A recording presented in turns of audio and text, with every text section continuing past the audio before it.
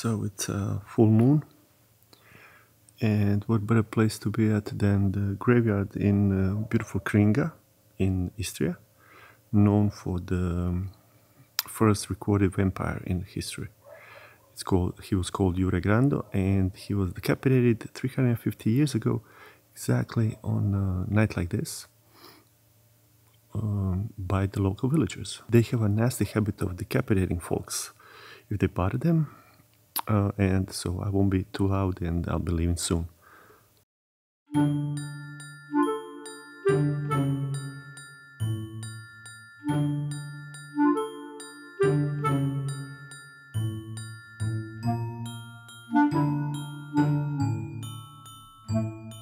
I was spending a few days in Istria for business during the All Saints' Day, so what better way to spend the night of a full moon than to visit one of the most special graveyards in the country?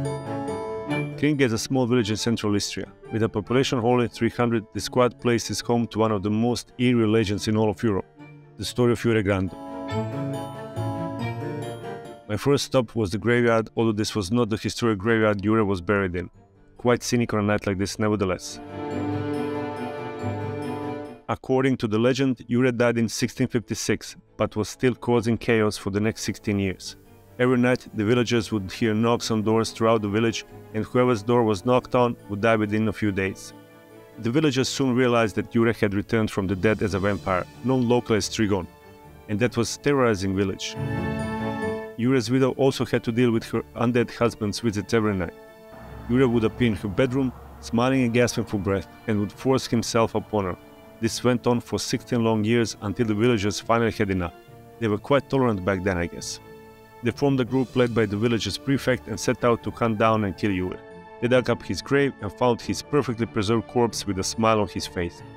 The village priest Giorgio held out a cross and tried to push the stake through his heart, but nothing worked. One of the villagers, Stipa Milasic, came up with a plan and cut off Jure's head. As soon as the blade tore his skin, the vampire screamed and blood started leaking out of the cut. And with that, peace finally returned to the village of Kringa. Vampires are quite a common part of our popular culture nowadays, and it all started from folk stories. That's how we got all these scary characters in literature and movies.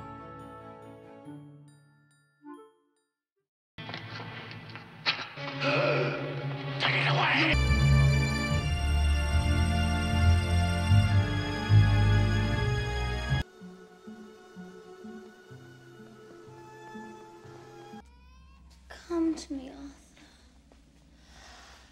Leave these others and come to me. and those not so scary. But the story of Jure Grando was the first ever recorded one.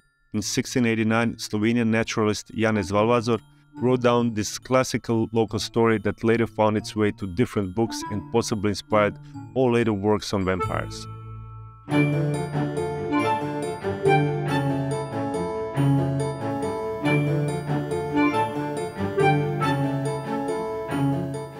Kringa is now a sleepy village, quite literal at that moment as it was past midnight. I was fully embracing my inner vampire hunter, but alas, it seems Jure Grando is taking the night off.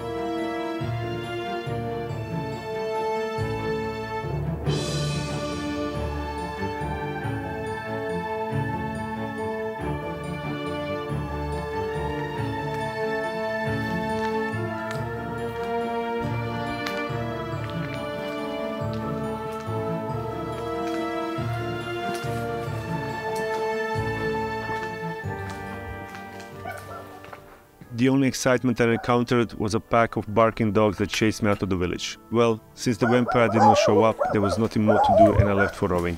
It was long past my bedtime anyways.